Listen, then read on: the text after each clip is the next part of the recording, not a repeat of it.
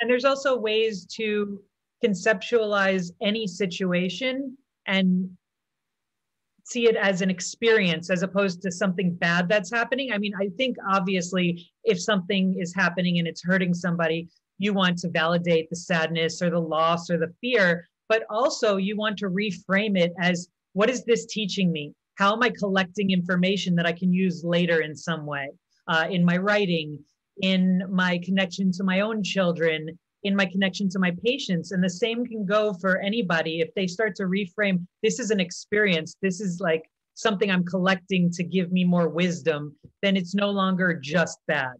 Let's say you're in, uh, you're going into a pool and it's freezing cold.